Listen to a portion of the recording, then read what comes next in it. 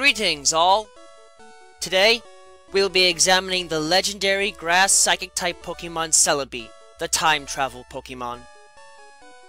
Though they may be so rare as to be considered mythical to some, Celebi are staunch protectors of their forested homes, and will readily use their astounding natural powers to defend their habitats and the Pokemon they share them with.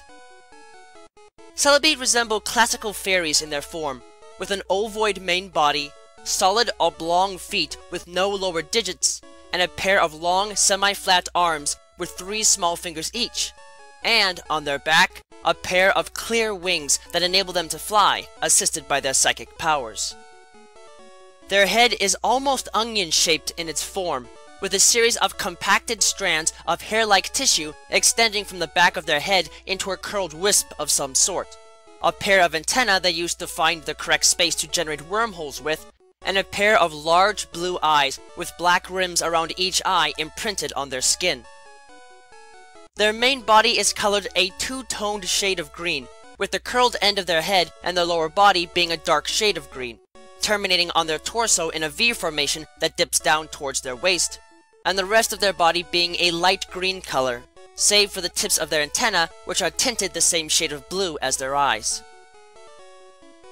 Celebi are rarely ever seen by any form of life as a result of their fairly reclusive nature, but this seems to suit them just fine, as they are regularly observed among beautiful forests while either checking up on their local habitat or, more often, traveling between two different portals between periods of time.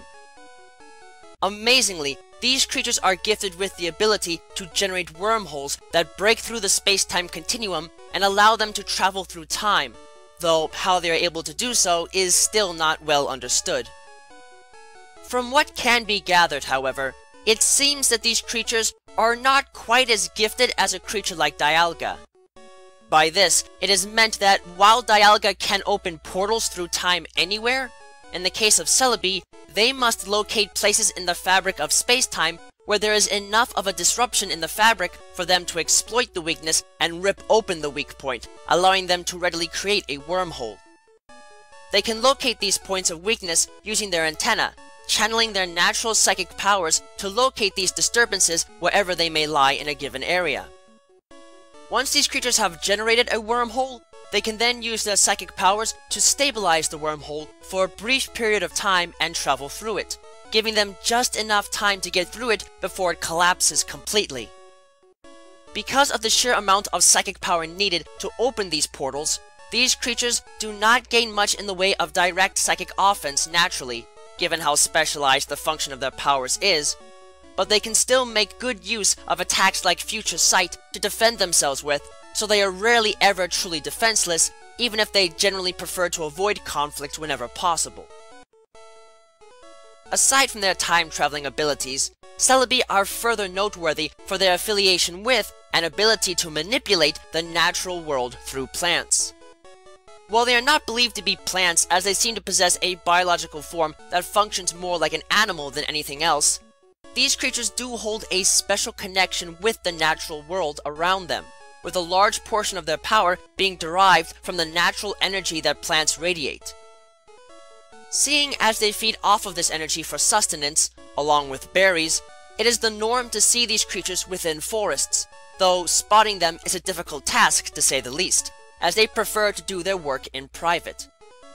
Celebi often prove to be critical to the survival of their natural habitats, though, as not only are they usually the best equipped to handle whatever danger is posed to their natural homes, but, more importantly, they are usually the only life form that is able to restore it in the case of a devastating loss. Although wildfires are a natural occurrence most of the time, and can be good for keeping the overall health of a forested land in a good position, and helping new life to thrive,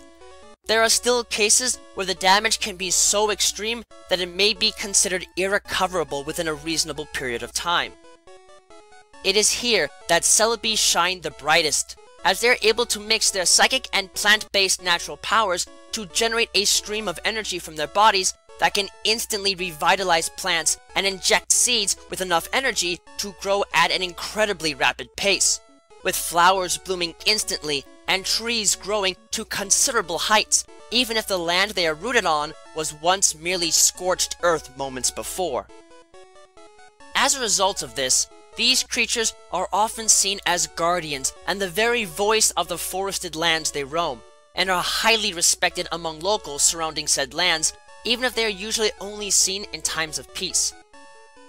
It is even said by some that as long as Celebi exists to protect the natural world, a bright and shining future lies in front of us all.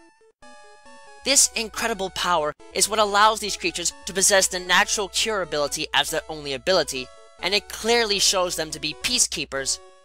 But it is noted that these creatures have a bit of a calculating and somewhat mischievous side to them, as they have been known to take and transport living creatures and even eggs through time via their wormholes before whisking away to some far-flung corner of their homes. Why exactly they do this is unknown, but it is likely because of two possible reasons. For starters, and as probably the most common reason, it is possible that these creatures are using their time-traveling powers to not only keep watch over their homes literally at all times, but also for experimentation to see how they can better manage and improve the health of their homes, bringing in different life forms from different times into new ones to benefit the forest and even the creature itself in some way, ensuring that everyone gets to live a long and happy life under their care. Secondly, as has been observed on several occasions already, it is quite likely that Celebi transport things as a form of self-defense for both themselves and the creatures they are carrying, either to place an aggressor in a time where they are unable to receive backup or help from others, or to save lives to keep them from being critically injured or worse. Regardless of which possibility it may be, it can be said that Celebi are still quite powerful despite their small size, as almost all of their base stats are above average for fully evolved grass and psychic type Pokemon, the only exception being their base special attack stat as far as being a psychic type. And while they are rarely ever aggressive on their own turf, they can still prove to be quite dangerous and definitely not worth angering if one does not wish to have the full wrath of their forest friends and the forest itself come down upon them. Although Celebi are usually not seen by large crowds or are involved in major world events, there are two incidents involving Celebi that have occurred in recent decades that are worth noting. The first of these events is the Dark Marauder incident that occurred nearly 16 years ago. During this incident, an infamous member of the now defunct Team Rocket, known as the Iron Masked Marauder, attempted to locate and capture a Celebi within one of the forests of the Johto region. Unbeknownst to him, however, the Celebi he was looking for had recently transported a young male trainer from 40 years ago at that time into the present day, who was quickly accompanied by a second young male trainer in addition to a few of his friends. While the local community of the area they were in at the time has refused to give out details regarding much of the incident, preferring to keep it a private affair, according to the best sources available, the Iron Masked Marauder was in fact able to capture the Celebi, even though it had befriended the previously mentioned trainers by using a relatively mysterious capture device referred to as the Dark Ball.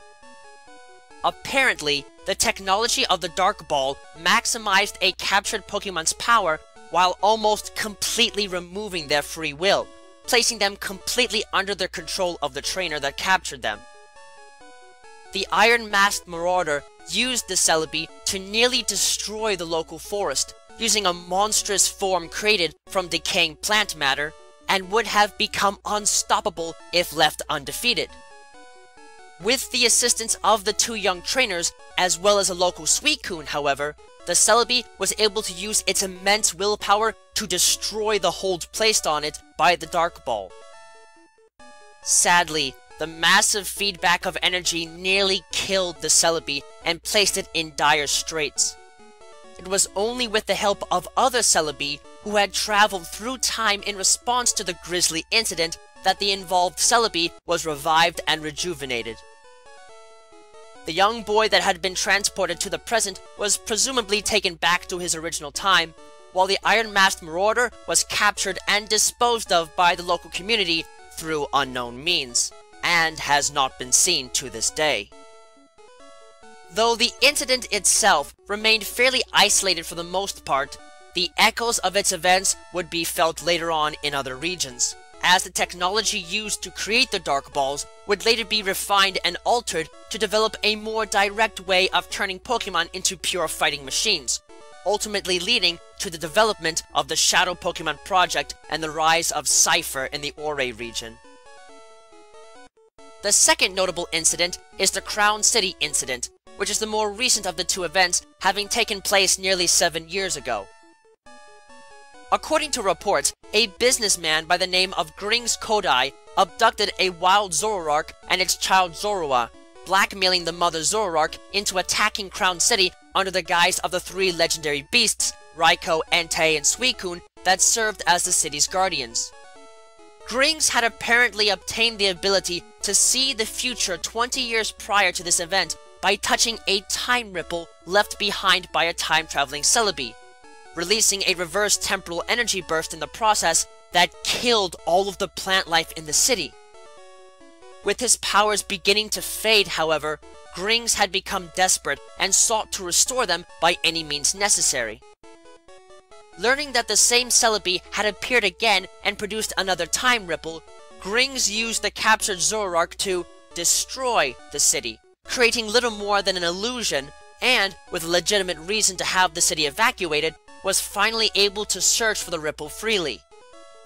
However, the child Zorua had managed to escape and found itself in the company of several young trainers, and, learning of the poor creature's plight, the trainers decided to help it find its mother and prevent Grings from achieving his goals. It is believed that the young trainers, with the assistance of the Zorua, Zoroark, and the real Guardians of Crown City, were able to drive back Grings from the time ripple he had discovered, once again formed by the same Celebi from decades before, and, with the help of the Zoroark's illusionary powers, caused Grings to knock himself out while entranced by an illusion. The Celebi that Grings was pursuing was able to time travel out of the area safely, causing the time ripple to disappear, and in the end, Grings' actions 20 years ago were finally exposed to the public, resulting in his immediate arrest. While they might be incredibly difficult to find, and in turn more than live up to their mythical status, Celebi are kind creatures that serve as potent protectors of the forests of the world, and always have the interests of the natural world in the forefront of their mind. If you are lucky enough to find one of these creatures, though, don't expect an easy fight, as they can more than use their natural powers to deal considerable damage to anything and anyone foolish enough to try and invade their homeland. As such, you would be better off leaving these creatures be, and either admire them from afar, or only take the chance of getting close to them by showing them just how much you truly do care for the natural world. Just try not to camp out in the lands they live in without taking proper care of any fires you build, because if these creatures see one unattended as a hazard, they will gladly deliver a punishment worse than anything Smokey the Bear could ever give, likely sending you into a time where everything you know and love has yet to be, or, even worse, is already long gone.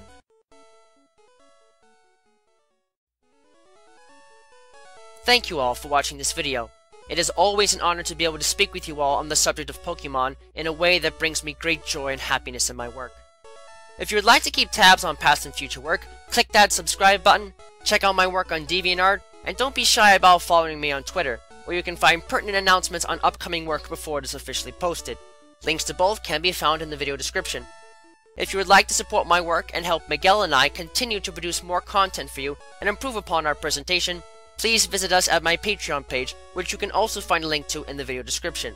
Yeah, no. With that, I thank you for watching and I wish you well.